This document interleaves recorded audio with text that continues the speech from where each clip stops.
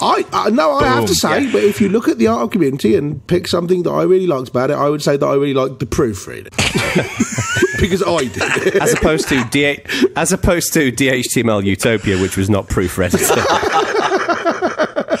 I'm telling Oh, this is devolving you said, quickly.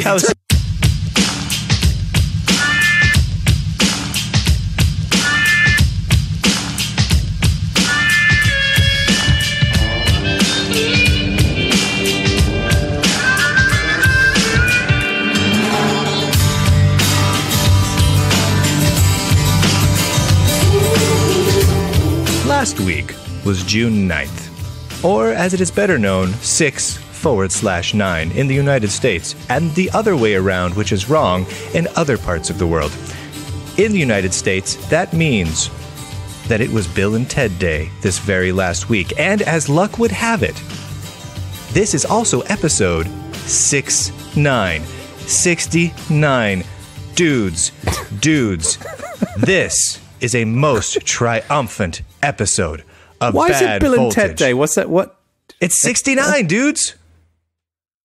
What's that got to do with Bill and Ted? Do you not remember Bill and Ted's Excellent Adventure? They're standing in the front of Circle K, which there are things afoot. And they slam down.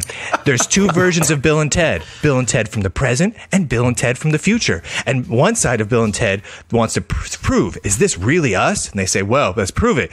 What number am I thinking of? 69, dudes. They nailed Oh. it. They nailed it every time in that constant infinite loop paradox that is the front of the Circle K in Bill and Ted's Excellent Adventure. So this is the Bill and Ted episode of Bad Voltage.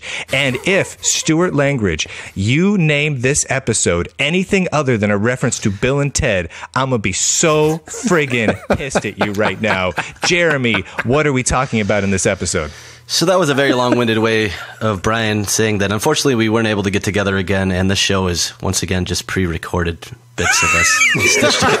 totally joking. This time we do have all four of us. Uh, wel- welcome back God's to the, the real bad voltage. no listeners. Pack it in. And one one thing we're going to talk about in this episode is uh, money in open source and how do communities use and raise money fairly and effectively.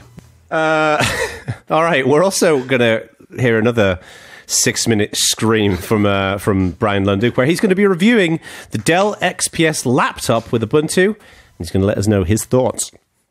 And we've recently seen a whole bunch of people leave the own cloud project and set up the next cloud project. We ask, what the hell's that all about?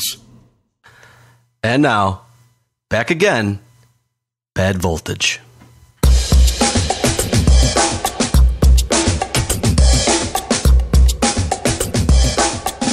If there's one thing I love about the open source world, it's drama. I love it when when things seem to go to shit and then other good stuff happens and then some other stuff goes to shit too. It's very exciting to watch, especially when you're not in the middle of it. So goes the story of OwnCloud.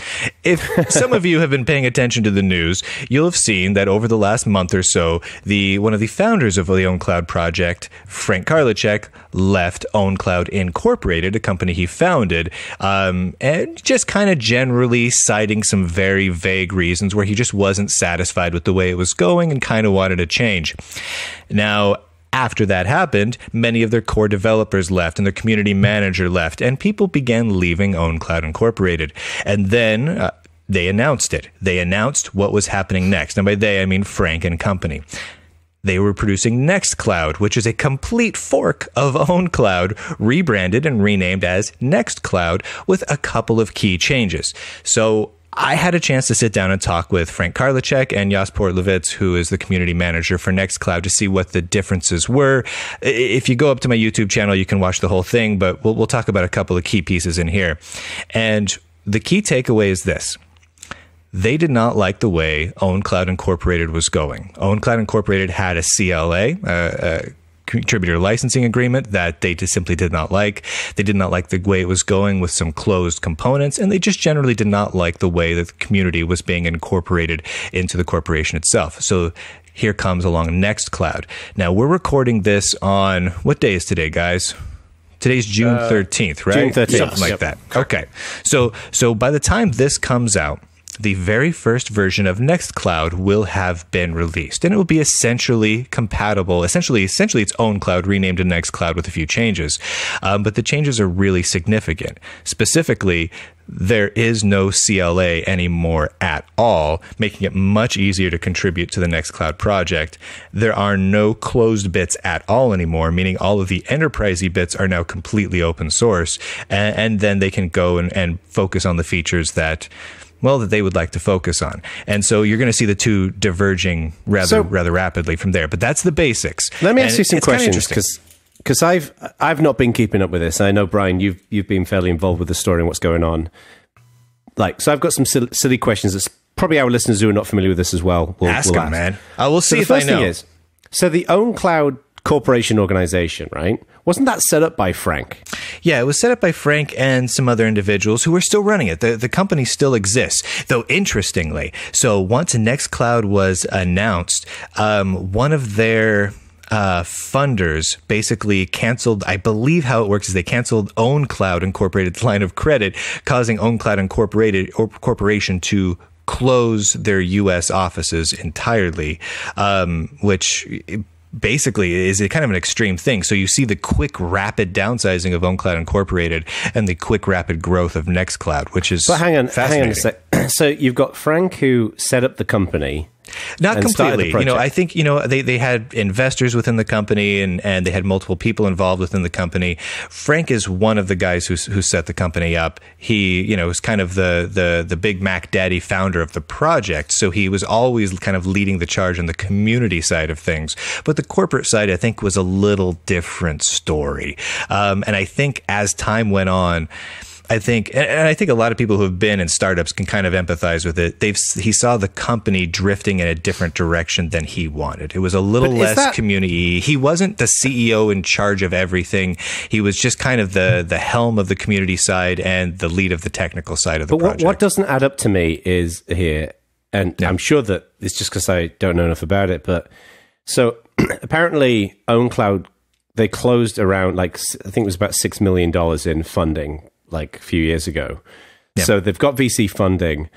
Frank is, is leaving and obviously taking like the the heart and the soul of OwnCloud is going with him and hence becoming Nextcloud. Right. So it strikes me that what's happening here is they're leaving because they're not happy with the way the company is is stewarding the project and, and treating the project. But what I don't understand is if he was either the founder or the co-founder of the company, like VCs don't tell projects how to run their communities generally. Well, he- I don't. I don't think the company, and I could be completely wrong about this. And um, if I get this wrong, Frank Jos, if you're listening, I know you are. Go into our our community voltage.org forum and correct me. Please correct me if I get this wrong. But uh, my my understanding is Frank didn't have you know full veto and controlling power of the company as the company grew, as as VCs you know contributed to the company. Other people had a lot of voting share in the company to help drive the company in certain ways, and I think he just wasn't happy with that. And I think Well, I think VCs gathered- invest in a narrative too, and the idea, at least, and I'm about with Jono on this one, and that I don't know a ton about it. The kind of subtext that I got is that the VCs invested in what they considered an enterprise file sync and share platform, Right, and so the other Frank wanted it to be more of a low wide platform, and it, they they certainly haven't come out and said it, but the idea that I got is he's friends with the guy that founded SpreedMe. They wanted to integrate it. I think the VC said no, and this is the end result of that. That's from what I can tell, and I'm sure there's much more to it than that. Yeah. I think in general the direction the company was going in a way that he didn't like the the VCs were dictating terms that he felt were onerous. He didn't like the CLA. He didn't like some other things. He didn't like Right. the, where the line was being drawn with proprietary apps versus open apps. From what I, understand I- from one of the interviews I heard, tried to fix it internally, didn't feel like he was able to, and then pulled the ripcord. right. Yeah, I, I just it's the, uh, the and I'm not suggesting I'm an expert on VCs by any stretch, but just as far as I'm aware, as far as I was aware, most VCs tend to stay out of the out of the, the they policy and technical operation. No, no, Yeah, I don't know. No, no, no, No, absolutely not true. Absolutely not. Hang on, Yeah, hang by an Jesus extreme way, no. Let me finish my point. The point I'm making is that generally VCs will place a, st- a set of requirements on what they're uh, on what they're expecting the company to accomplish and how they're going to grow. But in terms of things like how the community is being run, I'm assuming that the VCs wouldn't care about that. Oh no, they care. They care So, a ton. I- so so VCs as a general, from my experience, having been involved in a couple of startups that have had VC backing, um, you're right. They do. They set a couple of outlines. They're like, we want to meet these requirements. We want to meet these dates. Here's our key messaging, and if you stick to that, we we provide you funding. The problem is the VCs really have a lot of flexibility typically because it, it's an interpretation of that. They will begin threatening to pull funding if uh, uh, additional things aren't met, which may not have been under the original purview. VCs, they what they see needs to happen can change with the wind rather rapidly. Uh, it's a they're a fickle bunch. They are, And VCs so are different, right? There's some good VCs, VC and there's some really, really bad VCs. So I don't know which VCs. Right, companies well, I they mean, went with, but I th- I think there's you might have got lucky and that- dealt with some good ones. But sli- at least slightly, the impression you get is that, um, and I may be being very unfair to Frank here, but I think you know he built the uh, he started building the own cloud project, and then people came along and said, "Let's make a company out of this, and then we can all make money and get paid to do it, and maybe make a ton of cash." And he thought, "Yeah, this sounds like a great idea. Get involved." And then you know, people come in with funding and they'll say things like, okay, we're giving this funding in order that OwnCloud becomes successful. And then you only get 18 months into the project, 18 months into the company before you realize that Frank's definition of successful is it does loads of stuff and it's all open source. And the VC's definition of successful is Ford have bought it. Right. well, that's why, like, I, I guess that's where I'm. I guess that's where I'm a bit confused. Is it seems to me, as a summary, that uh, that the primary reasons why this split has happened were within the pur- purview of a, of most founders, and obviously. If this has happened, that's not the case. I'm not suggesting Frank's lying at all to us. No. it just seems it just seems like this, these are relatively small fry issues th- that could have th- been solved within seeing, OwnCloud. Um, there are two different kinds of founders. Um, you've got the sort of founder who who builds a project and wants to create a company and then goes away and creates it, and then you've got Frank, the impression I have, and I may be doing him a terrible disservice here, but he's he's a tech guy. I think people came to Yeah. him and said. There should be a company about this because then we can make a bunch of money. And he's like, okay, he was essentially CTO. Like he wasn't the founder Right. in the sense of running the company. I think people people in suits showed up and said, "Let's build a company." out of this." He went, "Yeah, that sounds like a great idea. That means I get paid and we can build all this stuff, and we've got some cash to do it. Why not make it happen?" And then he realised that as the as the company went on, they were kind of pushing things in in order to in order to do that money and justify the funding. They were doing a bunch of stuff that he didn't want to do. What I think's interesting Right. I think is I the- think it's the last the last part of it. Uh, the last part of what you said, I think, is spot on. The first part, I'm not so sure about. Right. I, I, I may be being unfair. What's interesting here, though, I think the impression I have with Nextcloud is that he's thinking, right, I've learned a lot now. I've now learned something about Yeah. running a company, but I've also learned a lot about the kind of people I don't want to bring on board because my overriding goal is the project and the open sourceness and so on, and we'll get funding where Yeah. we can, which I can accept. But as far as I can tell, all the techies have bailed to Nextcloud and no business people. Which means that they'll probably have a really vibrant, brilliant open source project, but it's not clear to me how everyone gets paid three I- months from now. So so so I so I asked them about this, um, and and I really do recommend. So I talked to them for about I don't know forty five minutes or so, and, and we had some of those questions along the lines like how are you getting funding and whatnot, um, and it does sound like they're they're well funded for, for, for quite some time is my understanding and that they have the the money available to bring on basically the the bulk of the people they would need to bring on from OwnCloud should they decide to leave OwnCloud. Uh, Frank even put out a, a thing on Twitter when he heard that people were being let go from from OwnCloud because it needing to downsize a little bit. He's like, "Hey, come to Nextcloud. We uh, we want you. We're we're hiring." So, uh, it, you know, think of that what you will, but I think it seems like they're they're going into this pretty with a pretty even head on their shoulders. It doesn't seem like they're they're jumping in without funding or anything like that. And it doesn't seem like also they're jumping in with like a, a mountain of of different VCs who are demanding that they just produce something that's essentially a Dropbox clone, which I think was part of the reason why they they decided this needed to happen. They didn't want OwnCloud to be relegated to an enterprise storage product. They wanted to be in the future, they wanted to be OwnCloud. You know, it has collaboration software with it and video conferencing applications and and you bring all these things into OwnCloud for for self hosting of everything that Google does for you online, basically. And and I think their their plans were much bigger, and being an OwnCloud incorporated kind of stifled that ability and forced them to focus on what the VCs really wanted them to be focusing on, which was enterprise storage as a product solution. And so uh, I, am pretty okay with it. Like looking at it, I, I, get why they had to jump out. If I were the guy that started OwnCloud and I wasn't being allowed to take it in the direction that I wanted to for whatever reason, whatever bureaucratic or money reason, I'd want to jump out and find my own way to do it too. So I, I, I kind of get why they did it. Question. Yeah, I, I um, don't know.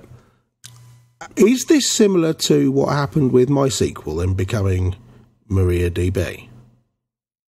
You know, you, you, you build a project and then uh, it, it, it, you, you grow a company around it. The company gets taken over by the sort of people who are pushing the project in the way you don't want to. So the technical person leaves, taking the code with them because it's open source and they could do that, sets up another right. company which is intended to run more in that way. But I don't know much about the whole MariaDB Monty. I would say there's some similarities and some differences from, there's from some. my yeah. perspective. Yeah. I think I think what's potentially an interesting thing is not so much at this point what was the motivation of uh, Frank Karlitschek to to do this because it's happened, right? It's done. You know, it's this split has occurred. The real question is if you're a user, if you're someone who wants to be using OwnCloud or currently uses OwnCloud, what do you do now? Where do you go? Where do you put your faith in going forward? Because right now, Nextcloud is literally a drop-in replacement for OwnCloud. Like it's just a quick transition over over to Nextcloud. The trademarks change, the names change, et cetera, et cetera, et cetera.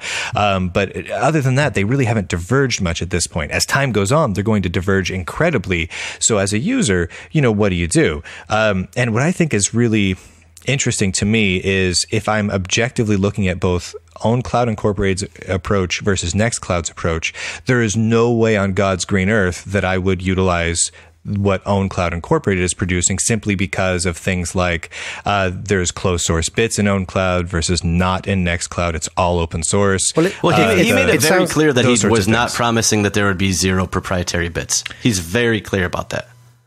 It's not any guarantee that it's going to be 100% open source, in Frank's it, words in Frank's words, up until just recently. So, uh, so on the the initial release of Nextcloud has zero closed source at all, including the enterprise components. Um, so, and that literally just happened. So, as of as of our recording of this, that information is fully embargoed. Uh, by the time this comes out, that will be that will be public. So, you could see where their their his thinking on this has been has been evolving. You could see him trying to get to a point where he's trying to make everything completely open source, which I, I kind of applaud. The thing that the thing, I mean, so I think there's a few things we should bear in mind. One is that we don't know.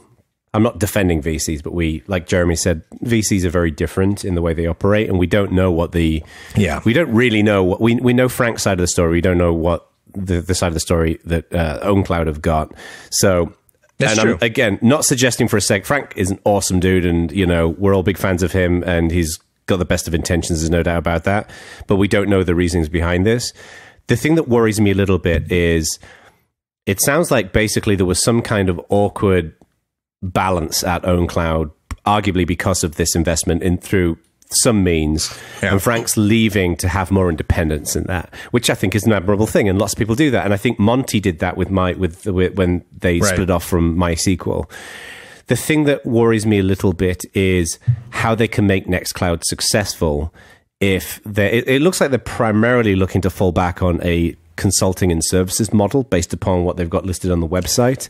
Yeah. And I just don't know how widely that can scale. I think yeah, that might be more difficult to to be sustainable long term, maybe than they imagined right now. Well, I think right. I think they're going for the this a similar model to Red Hat and SUSE. You know, I mean, it's it's it's it's services and support is they, really what they're going for going uh, forward. I mean, yeah, I can see that, fine, no problem. But Red Hat and SUSE have buildings full of people who spend all day saying no it's more expensive than that in mirrors selling uh, selling software to the enterprise market is not something where you can just wander up and go, "Oh, I've got a CD here, just stick it in and we'll work it all out." It's a no, genuine totally right. skill that techies are not generally very good at. Technical yeah. sales is hard. You're, you're, totally right. You, you're using, totally right about that. And, and using Red Hat as an example, while a lot of their software is free and, uh, and available to get. uh, You can get it for free. The whole focus of Red Hat is they've built a platform and an ecosystem that you buy into. Right. They provide services uh, that you buy into, which is a Red Hat done great work with their business model. But to do that well, you have to scale up significantly, and the way in which you do that, arguably, is through VC funding. And what worries me is that they may have burnt some bridges at that point. Uh, I want them to be successful. I'm just worried about, given what's happened, I'm just a bit worried how how they're going to accomplish this. Because I would all love to see Nextcloud be a successful, thriving business. Of course, Right, I just, right. I think I think we're all on board with that. I'm also kind of curious too. I, I think that maybe some people underestimate. If you look at a recent example that I, is not similar reason wise, but similar in that it was a fork, and LibreOffice forked from OpenOffice, right? And every technical person I know immediately used LibreOffice. Every one of them. right. Yeah. OpenOffice Yeah. still has way more mind share in the mainstream, Way more. non-technical person. OpenOffice still has way more mind share just because of its name Way more. recognition. So Yeah. uh, it's very difficult to undo the massive amount of marketing that has gone into this initially. And I, I'm curious how they're going to. It'd be great if we could talk to them, but I'd be curious how they're going to tackle that issue because just just because Nextcloud might have all the smart technical people now and a much better model as far as people who like open source go, that does not in any way change the mainstream perception of own cloud is own cloud and what I've never heard of next cloud. I don't know what that is. So qual- it's not always about no, you're quality. wrong. It's it's that's going to be a tough hurdle I think to overcome. You're, you're Yeah, totally I- not wrong. They've got an uphill battle ahead of them in a lot of different ways. I, and I, just in full disclosure, I have no involvement with the company whatsoever. I may, I know I'm sounding a little bit like a like an apologist for Nextcloud right no, now. you're- but I- you're a fan I- of what they're doing, I, you know? I'm, I'm glad. I'm happy to see them do such a thing. I like it when companies are moving clearly in the right direction, and I like it when people take a firm stand and say, you know what, no more of this bullshit, no more CLAs, uh, no more issues with trademarks. Um, you know, we're gonna we're gonna do this right, and we're gonna have the features we want. We're gonna be totally open source. That I I, I feel like it should be applauded. But I, I think you're absolutely right. There's a ton of uphill battles ahead of them. I think they're doing some things right in order to get some of the own cloud people to come over. Like they're offering, if you have an own cloud subscription currently, they're offering to honor that if you just switch over to Nextcloud. Um, so they'll continue to support you. They'll, they'll just bring people on over. So if you want to go with them, it makes it an easier transition. Whether or not people will, you know, take them up on that in, in large enough numbers to make the business successful long term, who knows? Maybe, maybe not. But I, I think they're approaching it from the right enough standpoint. The only other thing I would say is rapid changes can occur. Uh, a good example of that is Ubuntu. Ubuntu came from literally nowhere and took over and at a time when the word red hat was synonymous with desktop linux and realistically just clobbered that market in two years time frame Yeah. it's it's not undoable it, it, it's it's happened many many times both in the open source space and in the broader technology space so it's not an un, unsurmountable I don't know challenge if that's a but it is hard comparable answer though. You're, you're talking one one was a fork and one is a new product in a market that Red Hat clearly oh, didn't want Ubuntu and was still not a doesn't new want. product. It was a bunch was. of patches new- on top of Debian. It was right, essentially but the a- it was perception is that it was a new project. It wasn't a ground up new product. Right. But you're talking about a situation where there's a new project with a fundamentally different goal than Debian versus a case where this is literally just a fork product and the first release is ch- basically changing the name from when OwnCloud to Ubuntu came out, the, the entire stated purpose was just make Debian nice and usable. I mean, that was that was the no, stated it wasn't. goal. It wasn't. Yeah, that's no, not, that's- absolutely not true. Right. What was the stated goal then? It's Linux No, for no, I, I hate to digress, but that's what I remember. The stated goal was to build a powerful desktop operating system. It had it was not making Debian prettier. That was the snark that you got from Debian users. It was Also, I would also question- Linux without- for human beings. Right, and I would also question that, that at that time Red Hat was synonymous with the desktop. Nothing was synonymous with the desktop back then. It was everyone's possible game. Um, the desktop just wasn't very. Exciting back then. There was no commercial deployments of desktops back then, really. I feel like our next episode, we should have a segment around this because I remember things very differently 10 years ago. That than would I be think interesting, actually. It, it, it would be interesting. And I mean- also, I think the stats of users differ. eh, Agree with me and not with you. But I, I- I think we should, we should, we should look at this because I've been, I've been comparing, I've been posting these charts in conference sessions for the last about eight years on this, and I, I have a lot of video to go over. So uh, let's do that next next episode. Uh, and and Anyway, hopefully by two weeks is- from now, um, Nextcloud would have found themselves a charismatic multimillionaire. a, a bald, charismatic, charismatic astronaut, multimillionaire. Um, anyway, so this is this is interesting. Um, if anyone has thoughts on this, I, I would love to hear from OwnCloud people because what I'm curious about is are people that are using OwnCloud going to move over to Nextcloud? Do they plan to do so? I'm really I'm really curious, legitimately curious. So head on over to the forums and talk about it. And also Frank, Jos, and anyone else over at Nextcloud or OwnCloud, if we got anything wrong, we probably did. Yeah. Please correct us because we get Yep. things wrong a lot.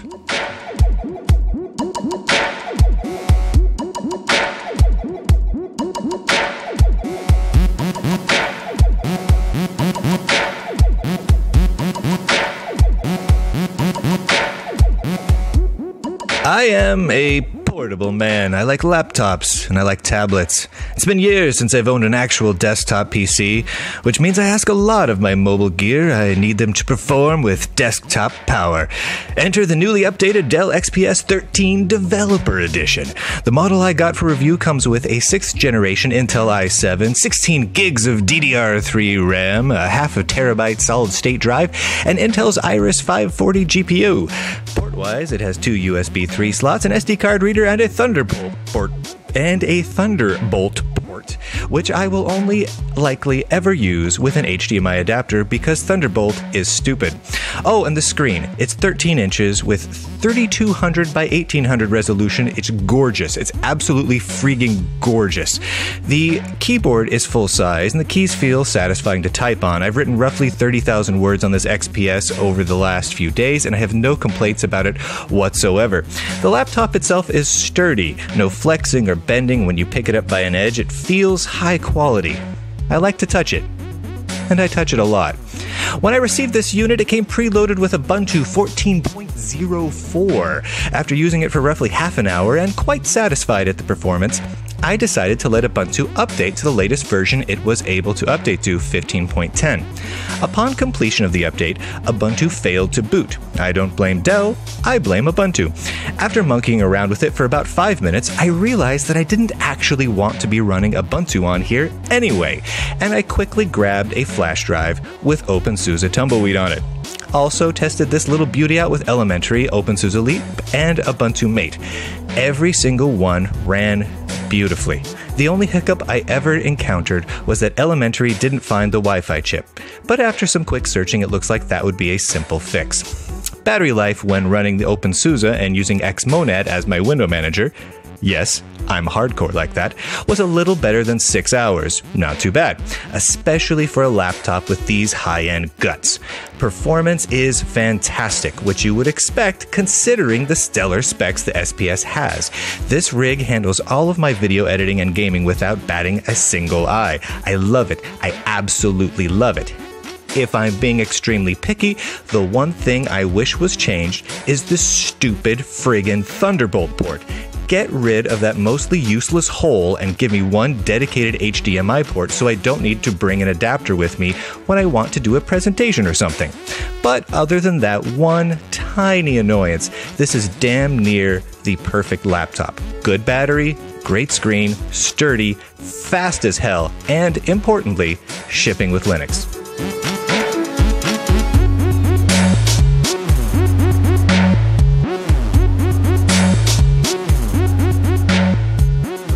So boys. let's be clear.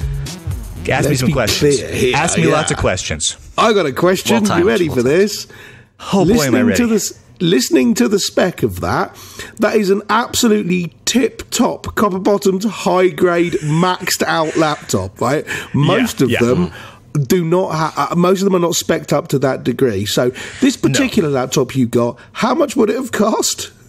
Two grand. Two thousand dollars. Yeah. nice. $2,000. That's not- $2,000. Twenty eighty is the retail on the one you got. Yeah. Yeah. So that was actually going to be my. That's question. not Would you pay? Would you pay twenty eighty for that? So I'm a cheap bastard. I really am. I mean, I'm, I'm a super cheap bastard. So bastard. nervous. My so other than this laptop. The laptop I spend most of my time with is a uh, Lenovo ThinkPad that literally cost me two hundred and forty dollars. so, if that tells you anything about the hardware I typically use, no, this is It tells me more about your Patreon and how well it's going. yeah, ain't that ain't that the truth? Seriously though, patreon.com forward slash Bryan Lunduke is a fantastic way to make sure Bryan gets better hardware. Um, so so no, here's a realistic thing. Um, if I needed like a really good video editing rig on the go, 2000 is absolutely worth it. I would plop down 2000 for this. If I just needed a word processor machine, no, this is that'd be stupid. It'd be stupid to spend that much money on a word processor web browser box that costs 2000 bucks. That'd be just ridiculous. But it plays games so well for a laptop. I mean, it's it's such a good gaming rig. It's such a good video editing rig. It's so fast, and the screen is so choice. I just want to lick it and cuddle with it. Uh, it, it is a fantastic laptop. If I if I'm in the market for a high end one, I think right now this is probably the laptop to beat. There are some other laptops that have a similar price and spec range, but they're a lot bigger. And the bigger laptops are great, but if you're going to a conference, you don't want to lug around a you know a 16.3 inch gigantic beast of a of a laptop with you just to do some video editing on the go. This one, it'll fit in most messenger and laptop bags without a problem. It's sturdy. It's got good battery. I So I, I can't really think of any problems with Speaking it. Really. of the battery, you said you got six hours out of it, right? Yeah, I- I- yeah, about six hours, a little bit, a little bit more. So but- what's interesting, if you go to the Dell site and you compare the developer edition, which is the one with Ubuntu, to the regular XPS, which is specced out exactly the same, Mm-hmm. the the Windows one, which interestingly has a battery life column, is rated at 18 hours. The Linux Yeah. one, they don't even have a battery life column on the Nope. chart. Well, Nope, there- I don't. There's there no way it should be three times different. Well, there were two sides to that. The first one is that Windows are actually better than us at battery life.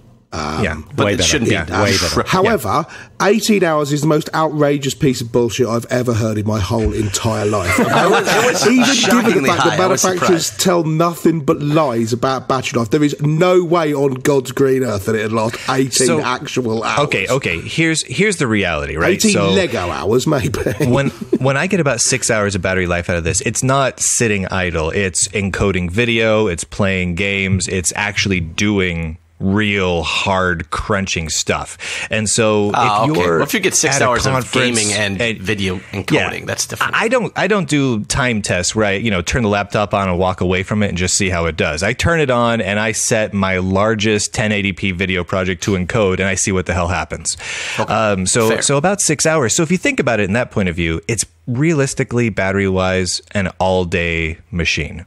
It's it's going to last you all day. By the end of the day you'll probably need to find somewhere to plug in for a while, but realistically it'll last That's you all day. fine. yeah.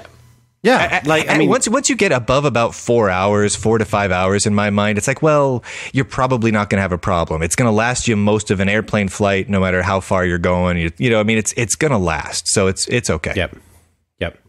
Um, I have a question. Oh, the I should I should point out. So I wrote a review about this for Network World about a week ago. Uh, one of the guys over at Dell got a hold of me because I trashed the Thunderbolt port on here as well in that article, and they, he reminded me that it also doubles as a USB Class C uh, port as well. I did not realize that when I wrote uh, both this review and my other review. That does make it a bit more useful uh, because Thunderbolt itself is really stupid. Does it charge from the USB C port? I don't. I don't think it does. I think it just Oh, acts as, it's a- as a. USB Type C. It's got a separate. Yeah, it's got a separate charging port.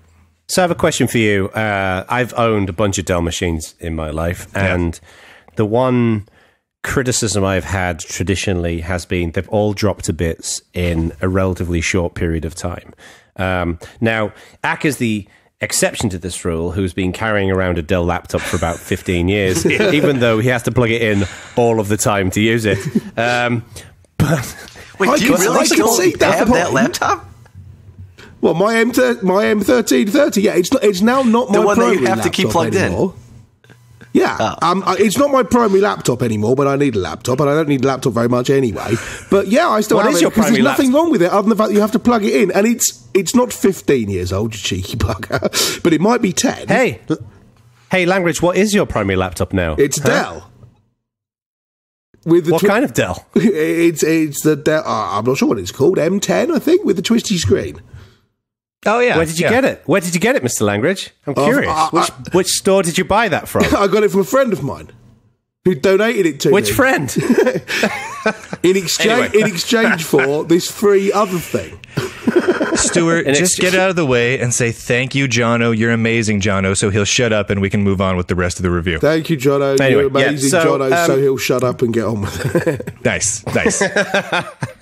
So, yeah, what's the build quality like? Because I mean, I I'm, I don't want to suggest that Dell. No, no, no. I know. I'm making the I'm same you. I- quality that they have ten years ago. I've had but- I had the same difficulty with HP laptops. Like I've had three HP laptops over the years, and all three of them just basically started cracking and creaking and bending and falling apart within a year or so of owning them.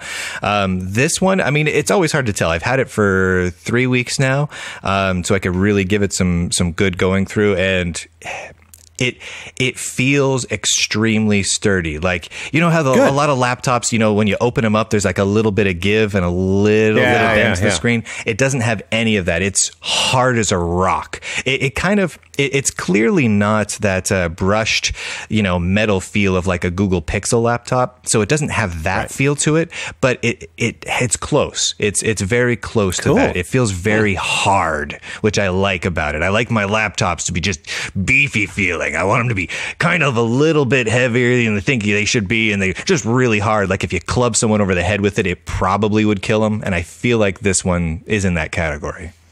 and it's good that it's got the really good screen because looking at um, people working on the uh, and, and purchasing the previous iteration of the XPS developer laptop. A lot of people complained that it had a pretty noddy screen, you know, 1366 Yeah. by 768.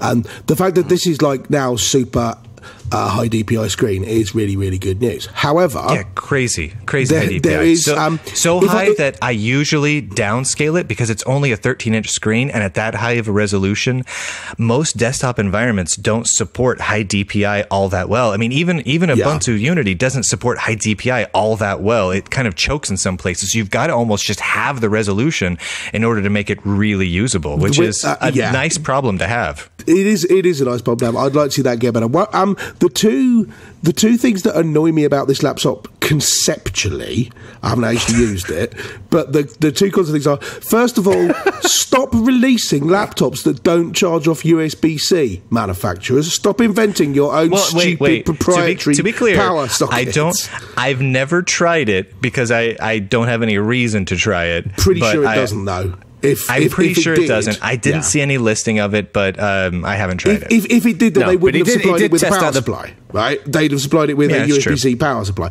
And the second thing that annoys me about it is, if you're going to invent a new laptop, invent a new name for it. Because now, if someone says, I've got the XPS 13, you've got no idea whether they're talking about this incredibly leak, you could beat someone to death with a high DPI screen super laptop, or the one from two Yeah. years ago, which has got a crap screen and had some serious it's true. driver problems. It's true. So I, I wrote up I, I wrote up an article reviewing this, and I, I struggled with the headline because I'm like, well, I can't just come out and say I'm reviewing the Dell XPS 13 because there's been Dell XPS 13 reviews published every six months for about the last five or six years. Exactly. So you know, it, I think this is the fifth generation or sixth generation of this laptop line, and sometimes they do differentiating it by by calling it like fifth gen or whatever. But just the same, they kind of do need to change the name up a little bit. But it is it's a great laptop. It really does. It runs everything. Um, if you get it, wipe wipe Ubuntu off it immediately because if you upgrade, Ubuntu will kill itself. Um, and just put on a real Linux distro, and it, should be fine. It would be it would be interesting to see what happens now that 1604 is out. If you upgrade to 1604, or whether and they should be shipping it with 1604 anyway. I would expect. Um, I would this is- expect pretty soon. Yeah. This is this is one of the reasons why I tend not to run the interim releases. Right, you run 1404, which is fine. Then you run 1604, and that's fine, and it's all good. Now, I should also, also- I should also point out that the the stock version of Ubuntu that it shipped with did have custom repositories for adding in some additional drivers. I have not bothered with any of those repositories in any of my testing with all the other distros, so it doesn't need them. If for anything that I can find, Oh, that's like good. there's no like I'm sure there's a you know I, my guess is it probably just has a custom patch to automatically make Wi-Fi work maybe on older Ubuntu distros, which is why Elementary didn't automatically detect it. Those sorts of things, and maybe like a repository with a package for desktop wallpaper or something. Yeah, but it, I- I it doesn't seem to need it. It's good to see that Dell it's, got- it's good to see that Dell decided to uh, ship with the Sound Blaster 16, so we can make sure that it's working out the Yeah, box. no, I believe it's an AdLib card. It's AdLib. Um, De- De- Dell have a, have a, a reputedly, I don't, I can't confirm this myself, but they have reputedly got a lot better at pushing those sorts of changes upstream, rather than just keeping you know the the Dell PPA with the drivers in it. They're actually getting back into mainline now. One one downside I should note that I fi- I figured out after I do this. I usually when I use my laptops for doing any audio work, I plug in an external audio source. I have like you know like my my my Blue Yeti or or I have uh, uh what's it called? I can't remember. The, but I have those little external uh, audio sources, and I pull pull everything through there, and I plug my headphones into that. I did plug in my headphones directly into the audio jack of this. There's a very slight hiss. Very subtle, very low. Um, I don't think most people would notice it too much, but it is a little bit. So I would say that there seems to be a little bit of interference with the audio jack. Not a lot, not enough to piss me off, but it's there and it's worth noting.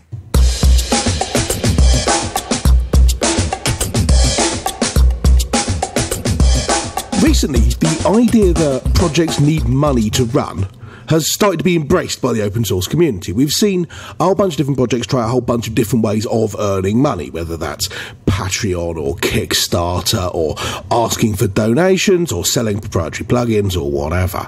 But the question I have here is if you are a community project and you get some money for whatever reason, how do you decide what best to do with it? You know, if you get $50,000 from Kickstarter or you get a regular Patreon income or whatever, how do you fairly and effectively parcel that money out to do relevant things? I think a lot of it depends on how you're asking for the money. So, for example, Kickstarter, you're typically saying, I want this amount of money to build this thing or to make this thing. And people, I think, in that setting, are feeling like they're buying something. But then you have something such um, as. Kick, yeah, Kickstarter is perhaps not a good example because that's very much we need this specific amount of money to achieve this specific goal, and therefore the money Right, goes into right. the goal. So ignore one-shot Kickstarters. I'm thinking more in terms Well, of tell you- donation money or t- um, Patreon or something like that. I can tell you one example. Like when, when I was at Canonical, we set up the Ubuntu Donations Fund, and the way we set it up was, you know, when you go and download Ubuntu, there's some sliders, and you can choose where the money will go, and then at the end of it, it just goes into a bank account, and the community-related bits and pieces, my team had purview over, and basically, someone went and they fill in a form. And they ask for some money, and they explain, you know, like they provide some details of who they are and what Yeah. they're going to use the money for, and then we basically just make a determination about whether people are going to spend that money wisely. And And then found that Jonathan that- Riddell yells at you about it. It's something like that, right? Well, let's not forget that Jonathan Riddell yells at everybody about everything. This is true. so, uh, so what would happen is, yeah, the we make a determination on that, and and then we we do that. What was interesting is that I think that worked out pretty well because generally, the thing that most people didn't realize is that there were not that many people asking for money, and in almost all cases, the money was approved. And we kept saying to people, "Go and ask for money. Just Yeah. go and ask for money. There's money in the thing." I think this is one thing that especially smaller projects just aren't good at is understanding that there's there is money out there available that it's pretty easy to access in a lot of cases, as Jono kind of said, and they're not good at asking for it or clearly defining why they need it and for what they need it. So I think if you're a smaller project, one thing you can do is get a list of things saying we need X amount of money for this specific thing. Right. And I don't think a And lot I- of Yeah. community projects think- especially have that. You know, I, I, Jeremy's totally right about that. I think a lot of community run projects and like smaller organizations just realize that ongoing they end up having expenses from time to time, and they just kind of hope they can have someone that gives them money to cover it when they arise, and they're not necessarily forward planning for it. And it's it's hard to do. I mean, it's it's hard to look forward over the next calendar, quarter, or half year and say, okay, we're going to need X, Y, and Z, and that takes people to actually do project management and planning, and a lot of developers just don't want Yeah. to do that crap. That's boring ass stuff. Plus, like, there's a lot of great funds out there, but a lot of the people running these projects don't even really know they exist. Like, there's there's some great funds that could give them stuff, but they don't really know to ask for it, let alone know how to ask for it. I think that's a big problem. Yeah. The That I think The thing is the as well is- uh, John. I mentioned the uh, the Ubuntu Community Fund, which if you're doing an Ubuntu or Ubuntu flavor specific thing, you could apply for stuff for that. You say, I, I want, I need a phone to test this kind of thing on, or I'd like to go to this particular conference. I think it'd be valuable, or I'd like sponsorship to get the tickets or whatever. But on a more general thing, you've got Linux Fund, right, Jeremy? You do. Which I was going to bring up. Tell us about that. So yeah, Tell us about it, So, Jeremy. And this is why I think this is kind of an interesting topic. And I said, community, smaller communities especially, are not very good at this. Is because I was added to the board of the Linux Fund uh, a couple years ago now. And what the Linux Fund is basically is a nonprofit whose main goal is to help Linux and open source related projects fund things. Uh, but what we really need is a specific amount of money to, to to accomplish a specific goal or target or task or but it- it's pretty wide open. It doesn't have to be anything technical. It can be we need this hardware because we want to write drivers. It can be we want to go to this conference and pretty much anything in between. It's it's almost completely wide open. And I started in earnest a few months ago, reaching out to people. So I put it in our, our newsletter, which goes to you know a little over three hundred thousand people. I posted it on the site. I posted it on Twitter. I posted it to Reddit, saying you know if you are an open source project that needs money, please contact me. All we need is a targeted amount and a specific goal, task, whatever. Kind of explaining what I just did. And I figured we would get. We got a ton of people saying, "Yeah, I want money." Almost no one got back to me with I would like thousand dollars to attend this conference or I would like seven hundred dollars to buy this device. And the it has been extraordinarily, shockingly difficult to give away money. Shocking. I got. I know that that was the thing that struck me with the I- I- Ubuntu I- thing I as wanna- well. I, I wanna- I- I hate to diverge from this, but I want to stick to Linux Fund for just a second. I have a questions for you, Jeremy. To start with, in your time in, in during the, in being on the board for Linux Fund, what is the smallest request you've received? Like like what's the smallest amount that someone's asked for? I, I'm really genuinely curious. I don't think coffee anyone's asked for Yeah. less than a hundred dollars. That I can eh, recall. do you- I mean, no one have said like we need seven dollars for something. It just hasn't happened. See, this is what I'm wondering. Yeah, what's the biggest request you guys have received Ever or since I've been on the since, since you've been uh, around? Yeah. Did five- Microsoft five ask you for the money to buy LinkedIn? Okay, so so so like five grand. So so five grand or so. So realistically, people aren't coming to you know Linux Fund and looking for uh, enough funds to cover like a, a full time developer working on things. It's more for like one off specific goal accomplishment sort of Ah, things. like let's go to a conference with a booth or something like that. This is this this is the thing I was I was going to say there. As Jeremy says, Linux Fund is really there for we want to do this specific thing for which we need this specific targeted amount of money. Can we have that much Yeah. money? And they go, yeah, okay. Now you have to do the thing with it. And the um, the Ubuntu Donations Fund, uh, Community Donation Fund, is exactly the same thing. It's we want to do this specific thing. For that, we need this much money. Can we have that much money? But there's there's much less of a, a facility for kind of ongoing stuff. Where it, it's not that someone wants to have um, five hundred dollars to buy this particular tablet to do the port to it, or fly Right. to this particular conference in Germany. It's like what I would like to do is I would like to work on this open source project in the evenings for a month and get paid for that somehow. But no one's really set up to do that. Yeah, I- yeah. Well, I think Patreon. I have- I have that's something we would definitely consider Linux Fund, and I think Patreon is kind of set up for that. And there's a couple other open source sites that are kind of set up for that. Really, Uh, well, Right. uh, well, well. This this is the the kind of wider goal of the question. Is imagine your project and you've got a Patreon running and it, it pulls in five hundred dollars a month or something. So not much, But then some people say, well, I've been working on this project. How about you bung me $50 a month of that to carry on working on the project? How do you decide Well, who gets the money and who doesn't? Who's justified and who isn't? Without tearing your project apart into massive civil war about who gets the dollar. So, in cases that aren't like Linux Fund, where it's not for a specific thing, for a specific person with a specific goal in mind, general funds for small projects like that, I could see that causing a, a lot of issues. And I think one interesting word you added is how do you do it fairly in the intro? I, that's a Yeah. really difficult question. That's going to be really based per project. And I, I think that in many cases, you will probably cause some consternation in some projects. I don't think how you can.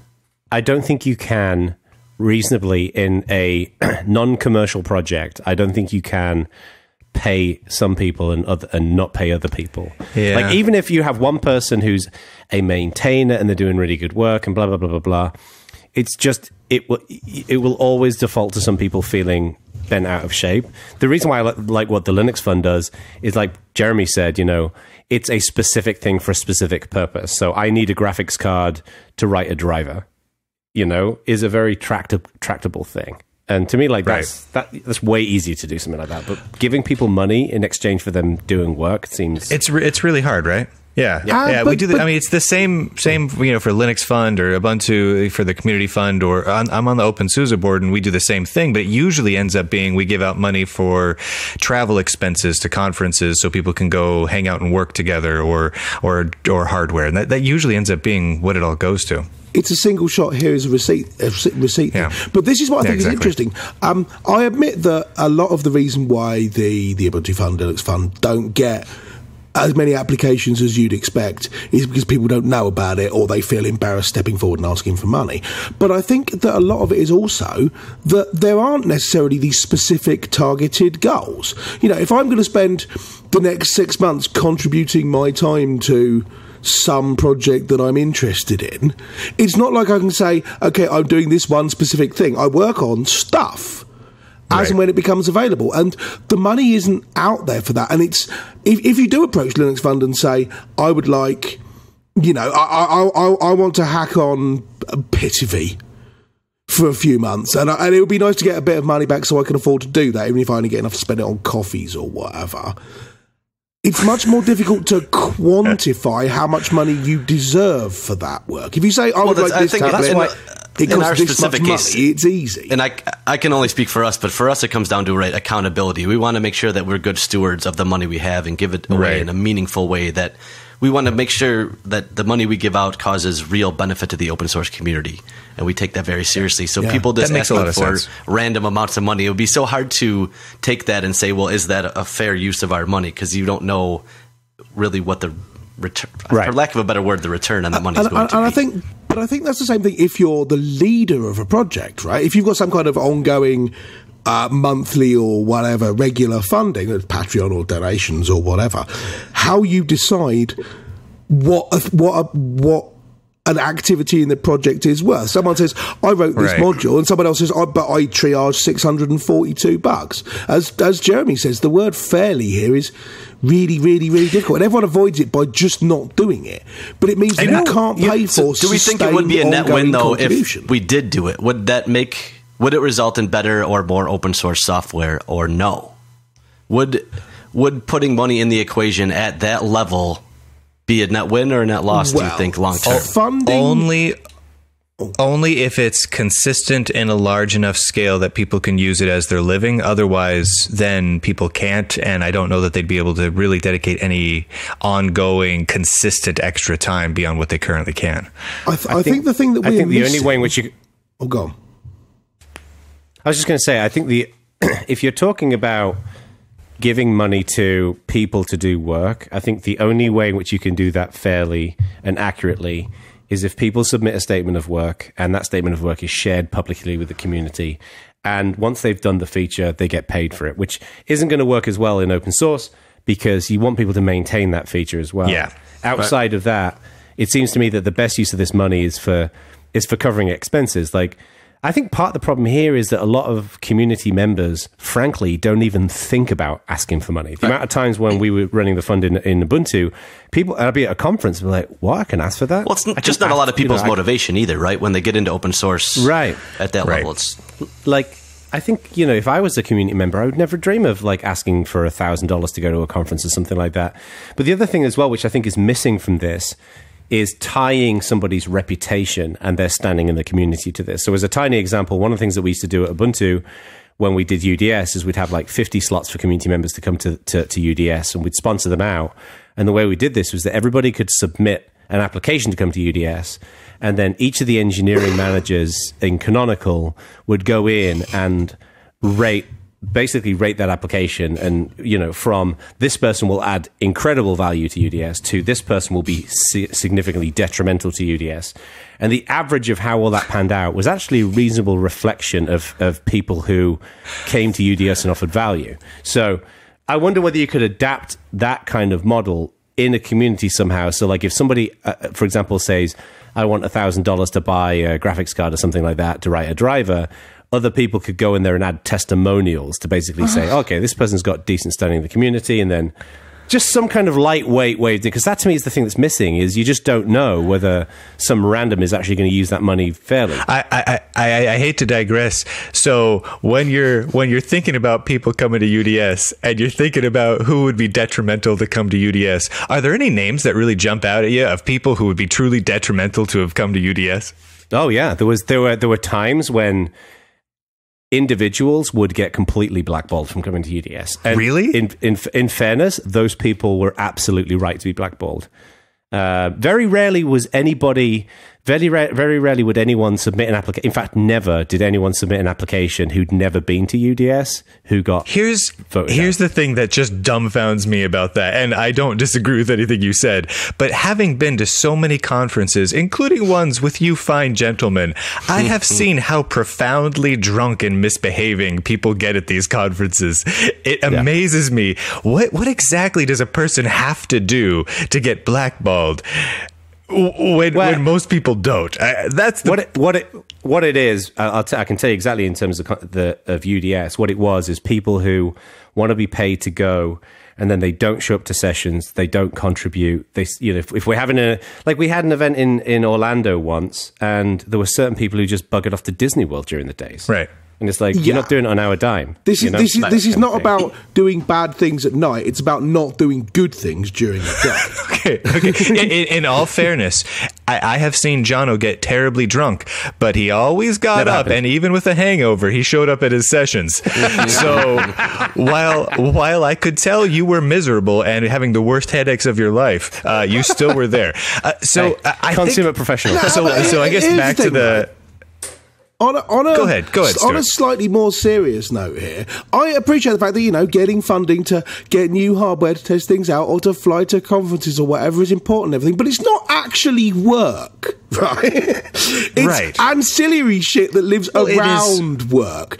And surely sorta what we're missing is that we're not motivating people to provide sustained, ongoing contributions to a project. That's fair. If it's Yeah. kind of, you know, you fly in, you do this one little thing, you get some money to do it, and then you go away again, then we're putting together patchwork. We're not actually building Right. a consistent community. And is this not some kind, you know, and now we've, we're at the stage where some projects actually have money and we still can't get it done. Are we not missing something out here? What? No, I- I think- what's interesting. I think Go we ahead, have. Bryan. I think a lot of the pieces are already in place. I mean, like the work that you know the Linux Fund does, and the Ubuntu community, OpenSUSE community, all these all these different organizations provide those one-off funding bits for the conferences, the hardware, say some server costs, something along those lines. And we do have. s- mechanisms in place for providing people with ongoing revenue like Patreon that we've mentioned. So like for example, and I'm not the best example here, but so I have my Patreon page, right? I'm not using it to produce a whole bunch of open source software, but the people who contribute to me know that they're contributing to me for the wide array of random crap that I produce because they want to see more random crap from me. And there's a lot of developers on Patreon as well that are developing uh, for a bunch of different projects. They contribute contribute here and there, but people see them as being beneficial. I think I think even Eric Raymond has a Patreon page. So like a lot of people do that in order to either pay the bills, the kind of the bare minimum to make it so that they can continue to sustain a level of involvement in the projects and type of work that they do. And then I think people can then reach out to Linux Fund for going to SCALE, for going to Ohio Linux Fest if they want to drink cheap beer for three days straight. They they can reach out to those sorts of individual one-offs to cover those extra surges of, of of revenue that they need. The problem I think we come across is most people, and I think we've already talked about this, either don't know that they can, or they feel kind of embarrassed asking because they're walking around with their hat in I their hand more and telling people and I could be wrong here, but I, I think more what Stuart was talking about is how do we get trying to think of a good example. Maybe uh, someone like the maintainer of Ardour. How do we get that to be a sustainable job? Because the quality of software that he puts out is very high. How do we Right. get him to be able to work on that full time for years? I think it's more along the What lines is- of what. what is interesting about that is at least when when I was at Canonical using the Ubuntu Fund as an example, I would say the majority of people who were submitting to that fund for money were the kind of people who like going to conferences, the kind of people who are inter- interested in advocacy, and that stuff is really important. I can't think of hardly any situations where developers writing code would ask for money. It was That's invariably it was people people who enjoy that kind of work, and they did really like. There was some of that money was used really well when people would exhibit at SCALE and whatever else. But it is a very distinctive demographic of people who would ask for that money. Maybe it's different in some projects. Maybe in a I don't know Node or something like that, you'd have more developers. Well, I'd be Oh, curious too if it would behoove us, kind of as a community, to use some of this money for things like good. Some developers want to develop code and they'll develop code for free, and that's great. But there are some things that just aren't fun, right? That are crucial to a healthy project. I wonder if you can use some of the money to do some of those more like tasks, anything like in project Ruby, management. right? You might very well think that I couldn't possibly comment, but but yeah, I mean, Yeah, it, I it, it, it, feels like there ought to be more here, and maybe that's exactly the idea that if you've got some ongoing money, use it to sweeten the pot for people who are doing uninteresting but essential tasks, whether that's you know, uh, there- there- there's kind of a, a, a feeling in the open source community that everything is interesting to somebody, and therefore you wouldn't want to pay someone to do documentation or bug triage or tidying up the wiki or whatever because someone will find that interesting and then they'll come along. But I'm not sure history actually bears this out. Yeah. Jono, if you give the lib paper sizes guy as an example, I'm going to fly to California and punch you in the face. I did. I did think it, but I didn't say it. All right.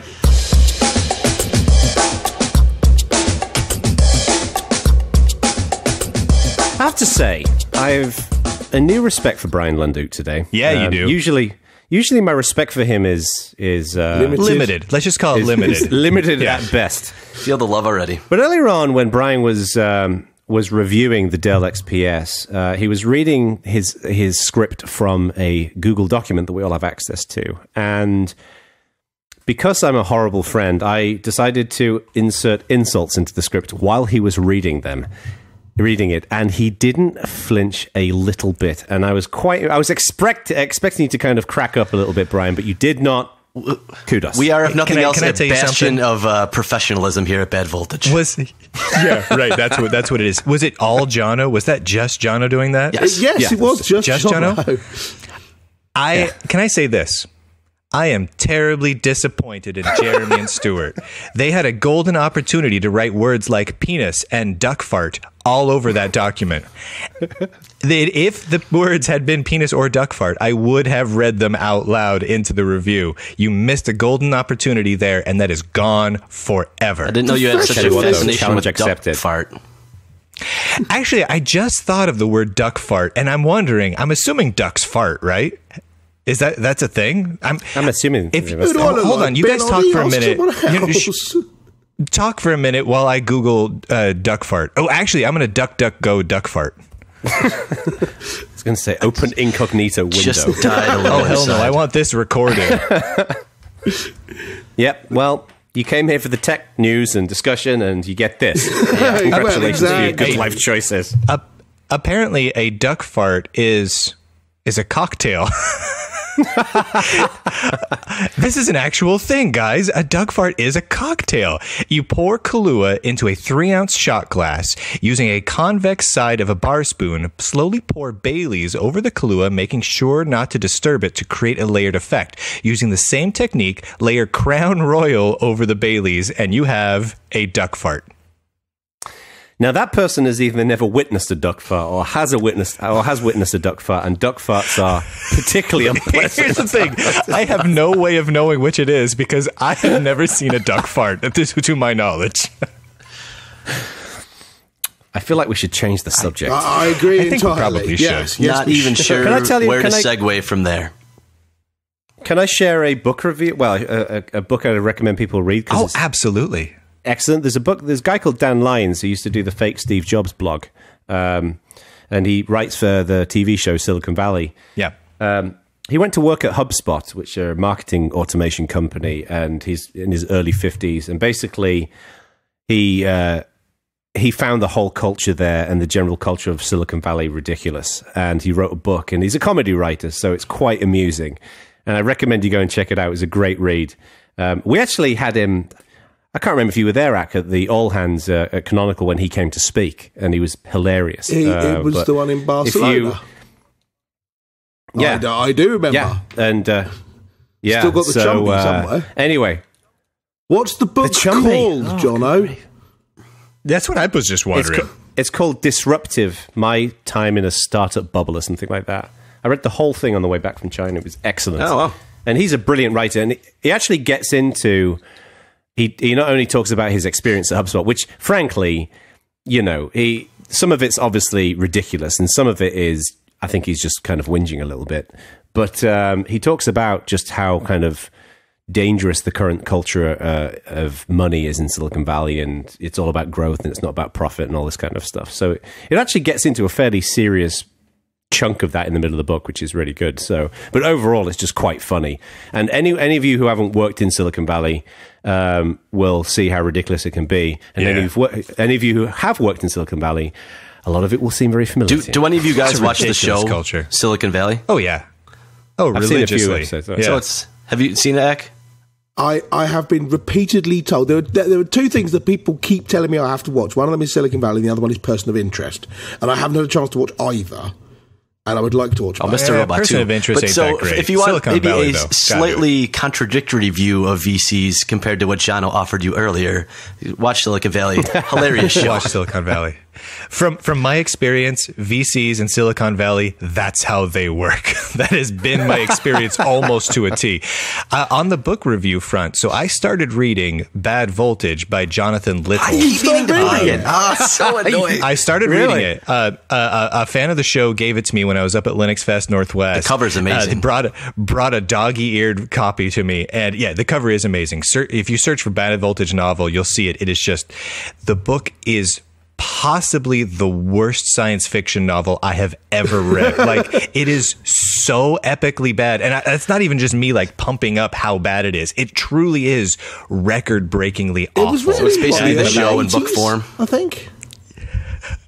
It is so bad, you guys. So I'm not going to give anything away right now, but I would like to do a full length review uh, on an upcoming episode once I manage to sit down and digest this regurgitated vomit of a novel in its entirety. Uh, it's truly, truly heinous. And if anyone would like to cathartically review it along with me, uh, you can pick up copies for about a penny uh, on the internet because it's truly terrible. That's, it's That- so funny. that's when, how you know when it's we good. started doing this. Sh- when when we started doing the show, I remember we had a conversation right at the beginning, which was, you know, we've called the show Bad Voltage, and you know, but there's this book, and uh, you know, I hope that we don't get drowned out in the Google juice. Obviously, it took like a week, and then we were the top top top ranking on Google. So I'm guessing that's why it's not very good. Poor Jonathan Littell. we, we really screwed things up for him. Well, Although you know, we'll probably triple his that or call sales now. So exactly. Right, People are going, oh my god, you're they've got a book out. And it's terrible. Surprise. we should now try to crowdsource funding for a book written by the four of us, co-written by the four of us. That's a worse science fiction book than that Bad Voltage. That Oh sounds my wor- god, worse that would be voltage. That's a- so hard to do. That's a genuinely good idea. I, I actually like that idea. but people listening to this show, I'm in. if you're interested in doing that, either tweet us at Bad Voltage or mention something on the forums. Because I'd be up for that. That sounds like a wicked idea. Oh yeah. Oh I'd yeah. be up for that. Challenge you know accepted. what? I'll even commit to writing my part using the same style and language as Jonathan Littell used in his version of Bad Voltage, simply because it's so terribly awful. I would maybe do we that could for you. to make sure that it's really terrible. Maybe we can pick like four characters for the entire book, and then we'll each write our each write our section, but we don't tell each other what's in the section. so it's just completely randomly. So, so it's goes not only a terrible science Well, fiction novel, but it's also a massive game of consequences. I'm not sure about it. Nice. And then we'll have to find someone who writes, who who does all that cheesy like uh, sci-fi illustration and stuff. I like don't that. get it. How did the hunky scientist suddenly end up on the moon? I don't understand. Suddenly, this section's talking about this guy called Bryan Lunduke every three words. yeah, that's weird how that can happen. So, anything else? Have you guys seen anything else that's interesting? Stuart, I, you- I recently, you got, you got I recently saw a movie that no one should see. So, uh, you ever see High Rise? what was the movie? What was that? High Rise? No. no. No. Yeah, don't. It's, What? No. What's the I'm trying to think of a good book to read now, but I haven't read a book recently that I would really recommend. Oh, an old one. So I'm gonna go. I'm gonna kick it a little old school, Jono style review. Uh, the Disappearing Spoon is a very good book that everyone should read. Who was it written by? Is that like a kid's Shakespeare book? What is that? No, it's uh, with the spoon- It's it kind go of a over the meld of modern stuff and science together. It's it a science It's- book.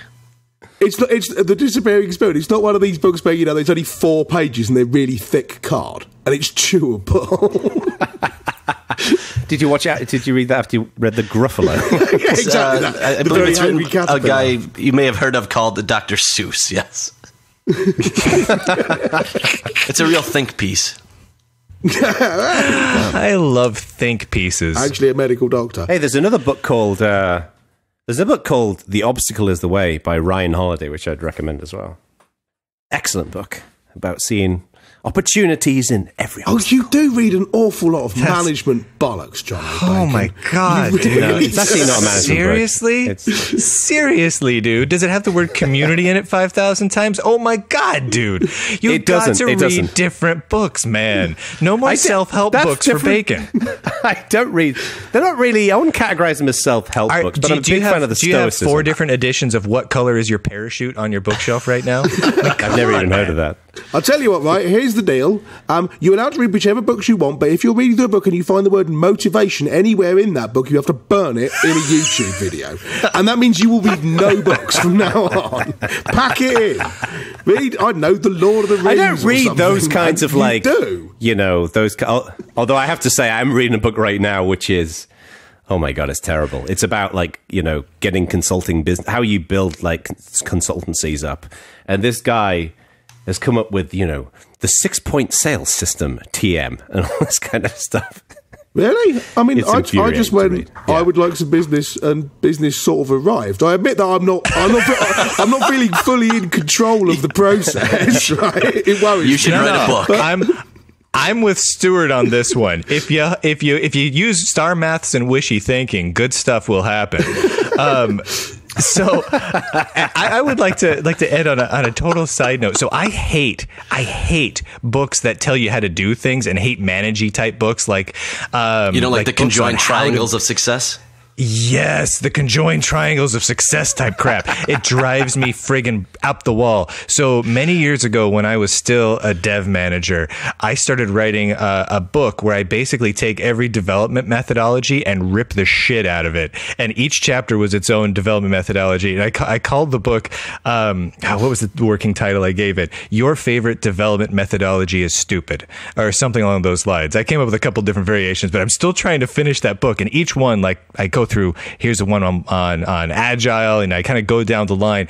And I eventually realized, and I wrote it snarkily to start with as a cathartic way to deal with the fact that I hated my management. I realized they are all really stupid, and every book about them is friggin' stupid. All of them without a single fail. So, anyway, that's just a complete random side note. I don't know if I'd agree. I think some of these books are actually quite good, but I think a lot of those like self help books. I've read a couple of self help books and they're crap. But I've- like the I've- Seven Habits of Highly Effective People, for example, is- that is an excellent. I've book. Ho- oh Honestly, god, I hate could get a Though I have heard. and Excellent write book. on it. I have take heard- management secrets of Garfield, and you buy it and spend twenty dollars on it to boot. I, He, he is I predictably have heard- irrational. I read somewhere a quote from a uh, one Jeremy Garcia that he highly recommends the art of community. So I know Jeremy likes at least some of these kinds of books. Oh, that was harsh. That was below the belt. I, I no, I have to Boom. say, but if you look at the art of community and pick something that I really liked about it, I would say that I really liked the proofreading. because I did. As opposed to D- as opposed to DHTML Utopia, which was not proofread. I'm telling Oh, this is devolving Wilson, quickly. That was, that was a solid burn, man. That was a solid burn. we should wrap it up before this turns into a argument about activism. And this brings us to the end of this episode of Bad Voltage. Tune in in two weeks for Bad Voltage episode 70, which I can't think of a number or a thing that. Is there anything that goes with the number 70? Is it Old like 69 is a thing? Like 69 has a lot of references, but what's 70? What's 70? Is there, score is years there something ten. special No. about 70? Mentioned in the Bible. The measure of a man's years. That's a really good point. And on I that totally forgot bombshell- about the Bible. You're supposed to know about this stuff. Your Bible reader in chief on this team. You should get cards and printed now, out. the end of Bad Voltage.